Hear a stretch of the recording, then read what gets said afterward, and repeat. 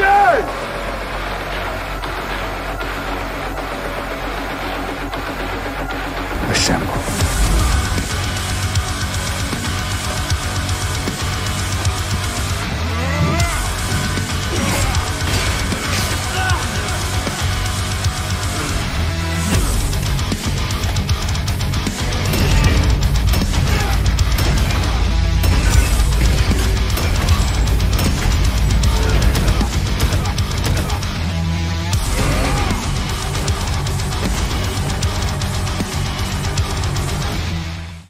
15 cents for making the audience wait this long. Who the f do you think you are, Valve?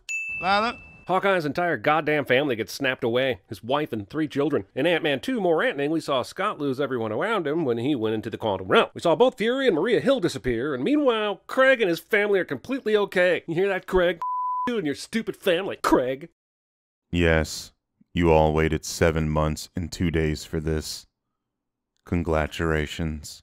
34 seconds of Marvel logos. Holy Thank God it finally showed up. I thought I was going to pass out. I feel like Ethan Hunt getting a hit of oxygen after that free dive in Rogue Nation. A pop culture reference and logo sin combined into one? Damn, bringing out all the stops for this video, aren't we? So the fuel cells were cracked during battle, and we figured out a way to reverse the ion charge and bought ourselves about 48 hours of flight time. Why the f- did they take off in this ship without inspecting every last detail? I know the urge to go home is strong, but they could have stayed on Titan for a while to potentially find supplies, fix whatever needed to be fixed, and find fuel from at least two ships that crash landed during that fight Nebula's Necrocraft and the Q ship. I feel like this whole thing was made up just to get Captain Marvel involved. Wait, what? Did you take a stupid pill when watching the ending of Infinity War? You must have, because you're suggesting that Tony was in any mental state to check a ship he knows nothing about for fuel right after being stabbed by Thanos and having people disappear in front of him after losing the Time Stone. Wait, each of these sinks in this bathroom have individual shaving mirrors? Is that really necessary? It's about as necessary as pointing this out. Gwyneth Paltrow doesn't know what movie she's in in this scene. Picking on Gwyneth Paltrow for no discernible reason ex machina cliche. He did exactly what he said he was going to do. Thanos wiped out 50% of all living creatures. Even though the world governments are in pieces, they were able to take not only an impromptu census, but also a cat and dog census. This scene isn't stating that they took a census, only that Thanos said something and that something happened. They have no reason to doubt anything Thanos stated, so if he stated he intended to kill half the population, that's probably what he did.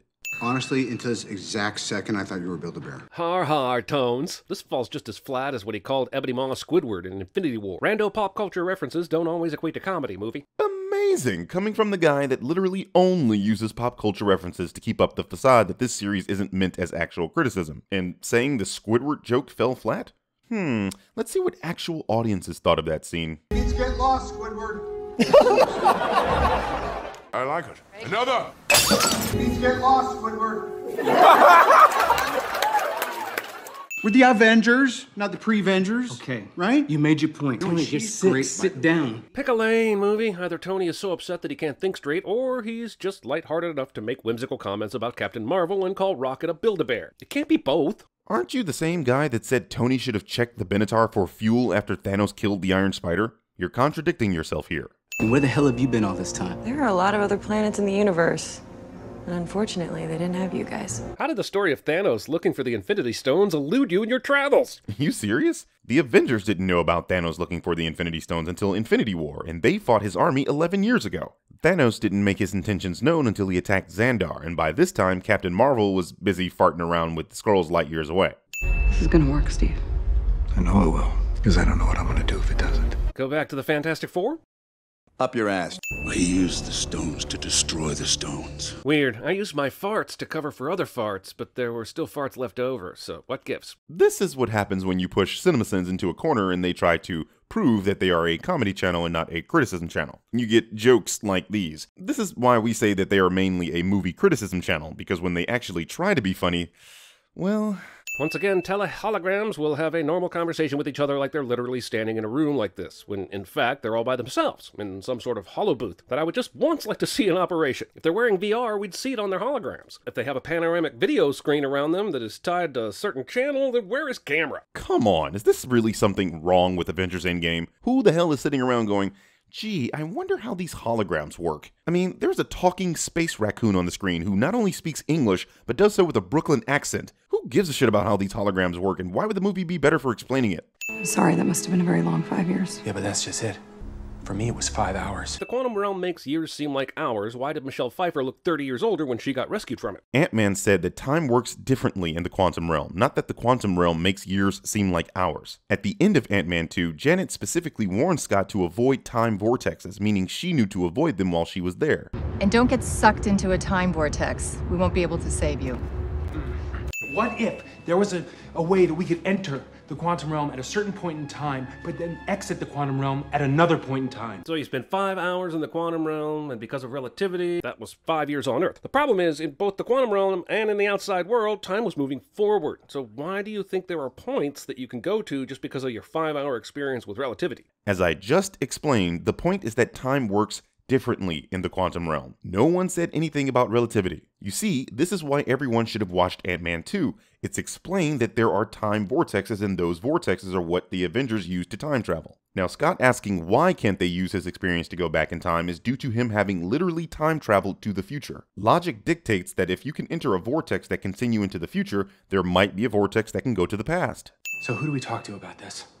How about a fucking quantum physicist? Look, I know Tony's brilliant, but this has never been his forte. If anything, Scott himself should know some more appropriate scientists through his associations with Hank. Why not see if Larry Fishburne is still alive? Except physics is precisely where Tony's expertise is concentrated. With Hank Pym, Shuri, and Spider Man all dead, the Hulk and Iron Man are the only two geniuses they know about with the capability to handle this, and Bill Foster is on the run. Jesus, did no one watch Ant Man 2?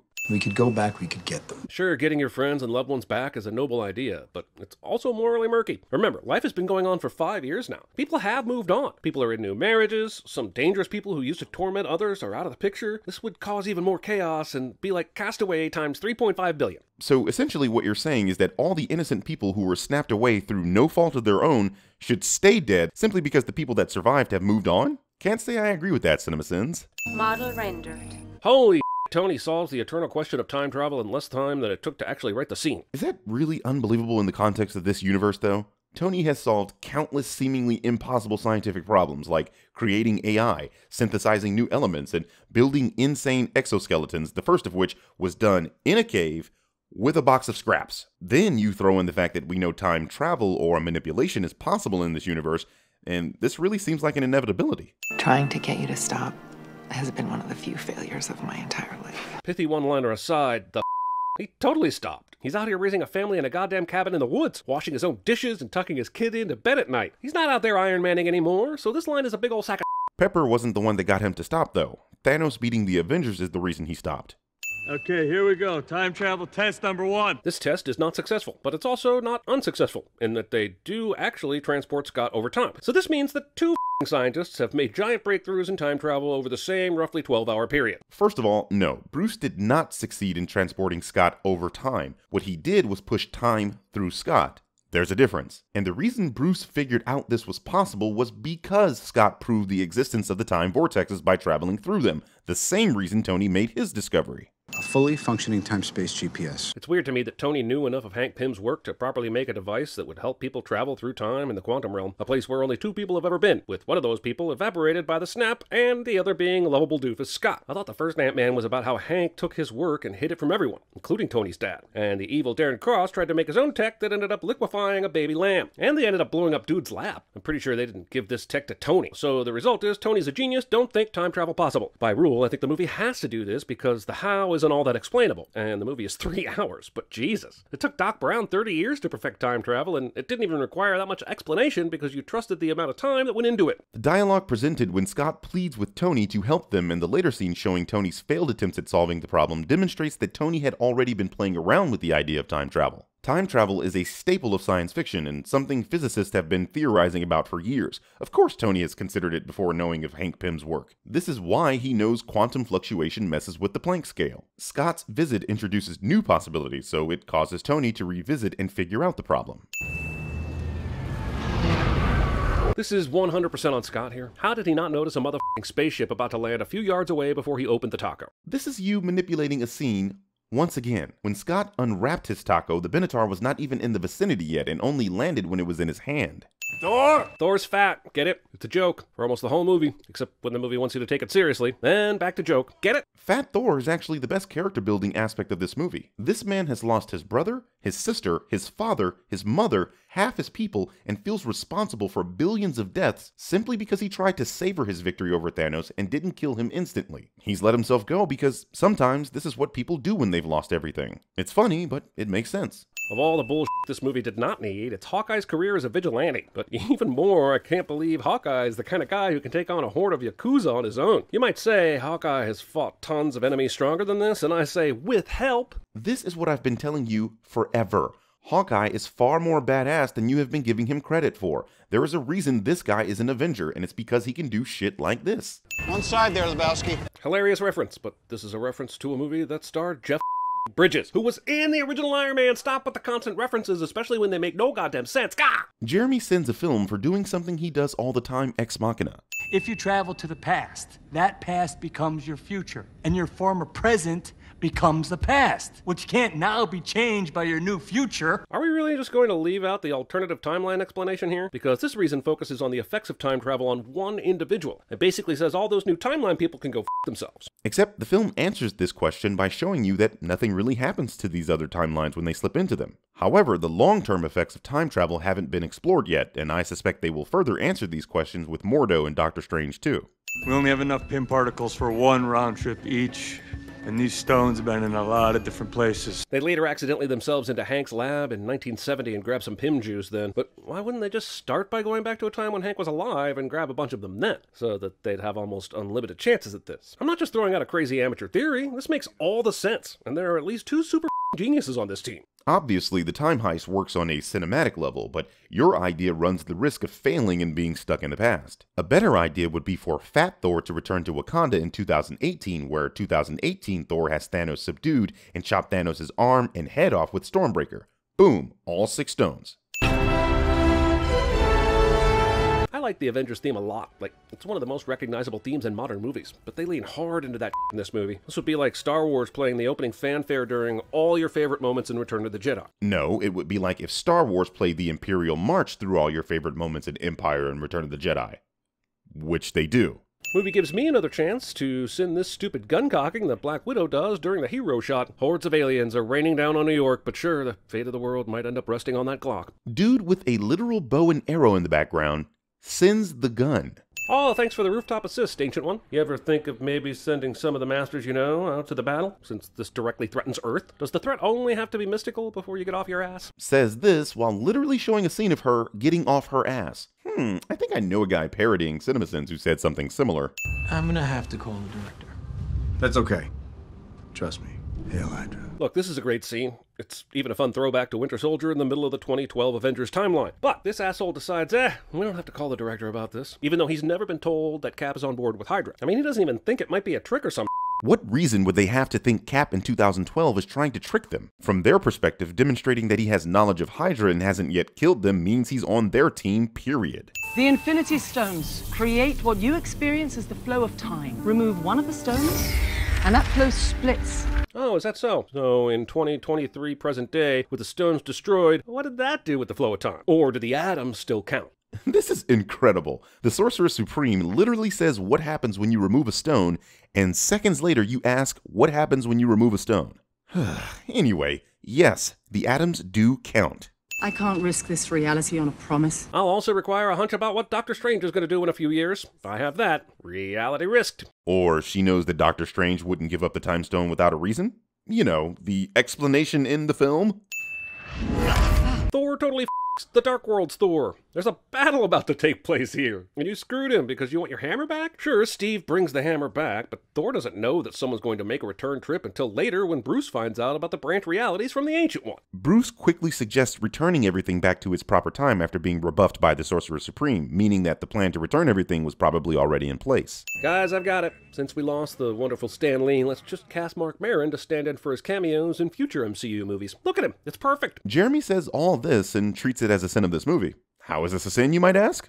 Who the fuck knows? But the raccoon didn't have to climb a mountain. But how do they know to climb this mountain, or any mountain at all? There's an entire planet to explore, but they're positive the f***ing Soul Stone is right here? They know because pretty much everything was explained to them by Nebula, who had it explained to her by Gamora. The only thing no one knew was that a sacrifice was required. This being the second time we've seen a successful acquisition of the Soul Stone, I'm wondering, what the f does Red Skull do after this? Does he wait until someone brings it back? And remember, Steve is supposed to come back here later and replace the stone like this never happened. Where does he put it? The fact that this stone is acquired by a sacrifice rather than stolen makes it a problematic stone to return, no? According to the Russos, Red Skull is set free when someone attains the Soul Stone, and obviously returning the stone isn't problematic because Steve actually does it. The fact that it isn't shown to you doesn't mean it's a problem or a sin of this film. Can't get her back. Can't be undone. Well, yeah, it can actually. Since you guys obviously don't give a f about other timelines, you can just go back to a time where she's lived and just take her with you. I know I said this in my parody video mocking CinemaSins, but this is true. After they undo the snap, they can just use the Pym particles to return to right before she died getting the Soul Stone and bring her to this timeline while giving that timeline's Clint the Soul Stone so that he can complete his mission. There's no real reason they cannot do this. Hey Hulk Snap brought back all the dead folks to life, but let's think about the practicalities here. What happened to people who were like on a flight when Thanos did his do they appear in midair and do a wily coyote shrug before falling to their deaths? Or did Hulk guide them to safety? And how unfair is it that the people who were snapped away off an airplane get to live, but the people who crashed into the airplane just stay dead? And if the people who died were brought back, then check the cemeteries because we have a zombie apocalypse on our hands. This was something I was curious about myself until I stumbled upon Kevin Feige explaining that Smart Hulk had the forethought to return people safely relative to their original position. This means if they were in the air, they were returned to the ground or the safest landmass. This is backed up by the film showing no falling humans from the sky. As for the people that died due to their craft losing a pilot, yep, they stay dead. With the stones you've collected for me, create a new one, teeming with life, that knows not what it has lost, but only what it has been given. So with the stones, he could have literally done anything he wanted, and he chose option Z, cut the population of the universe in half. What a dick. I was on board with Thanos' thoughtful madness because it made a certain sense for a villain to exercise a cruel intelligence on life in his quest for balance. But now that we know he could create a whole universe, that whole balance thing that he once espoused and I believed in no longer works. He could have created two Earths connected by an accordion tunnel and told astrophysics to go itself while half the population moved to the literal new world. Source material doesn't matter in the CinemaSins universe, but the word on the street is that the comic book Thanos did all this to impress a lady named Death. That's right, the power of boners made Thanos do this, and his actions make way more sense under that context than this does. The thing that you have to understand is that this is a different Thanos. He has learned from the mistakes of his future self, and he realized that people will attempt to change what he does. The previous Thanos thought everyone would be grateful. His new plan is to create a new universe that doesn't know about him killing half of them. That way, no one will try to undo his actions. Also, Jeremy says boner. Avengers!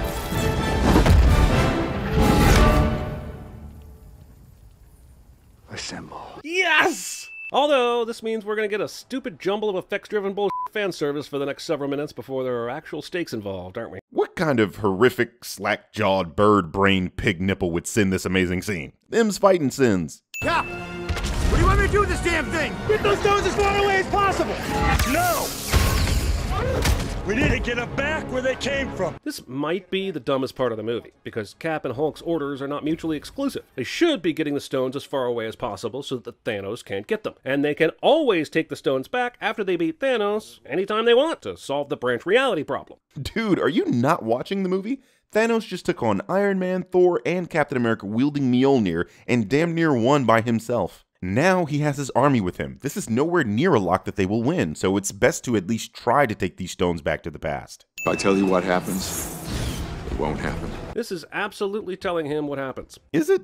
Because I'm pretty sure Tony has no idea he's about to kill himself. As I see Ant-Man and the Wasp smiling at each other and shrinking down, I'm once again compelled to ask why they can't fly into Thanos' ear canal or nostril, re-embiggen themselves, and explode Thanos into a hundred million balanced chunks of meat. This was the problem with all the people suggesting that Ant-Man should go up Thanos' butt. Thanos is incredibly strong and durable. What would end up happening is Ant-Man would crush himself inside Thanos' body. That would be like trying to destroy two cinder blocks by inflating a balloon between them. Come on, of all the scenes in the Marvel movies that don't make the power differential clear between two opponents, it's this one. Captain Marvel is world stronger than Thanos, and Thanos has taken a beating so far. In what universe is Captain Marvel worlds stronger than fucking Thanos? Did you not just see him sling her like a ragdoll? If she were worlds stronger, she'd have wrestled the gauntlet away, and she had her hands on it twice. It also took both her hands to keep his one hand from closing. Yeah, yeah, yeah, headbutt. But Thanos had been fighting Thor, Iron Man, Captain America with Mjolnir, and Scarlet Witch,